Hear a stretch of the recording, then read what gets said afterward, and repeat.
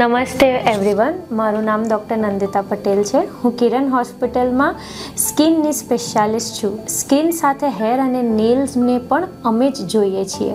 હવે આજે હું એક બહુ જ ઇમ્પોર્ટન્ટ ટોપિક ડિસ્કસ કરવા માગું છું. That is skin and hair care in monsoon હવે મોન્સૂન હોય એટલે આપણને પણ ખબર છે કે બહાર વાતાવરણમાં હ્યુમિડિટી કેટલી બધી વધી જાય છે.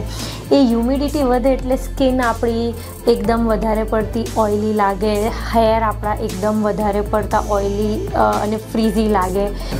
તો એ ઓઇલી સ્કિનને મેનેજ કરવા માટે આપણે એટલું ધ્યાન રાખવાનું કે ફેસ વોશ દિવસમાં બે વખત કરવાનું.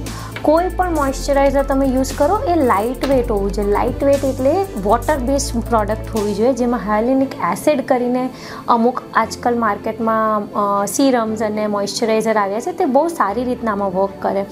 અને ધ મોસ્ટ ઇમ્પોર્ટન્ટ પોઈન્ટ અહીંયા જે નોટ કરવાનો છે, એ sunscreen application sunscreen is mandatory એટલે એકદમ મસ્ટ છે મોન્સૂન સિઝનમાં આપણને એવું લાગે કે કાળા વાદળ છે તો અમે સનસ્ક્રીન કેમ લગાડીએ.